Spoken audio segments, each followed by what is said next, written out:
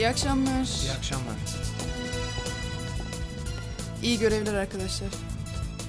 Sağ olun amirim. Hoş geldiniz İdil Hanım. Hoş bulduk. Merkezden ilgili yazı size ulaşmıştır sanırım. Bugünden itibaren buraya özel bir program dahilinde koruyacağız.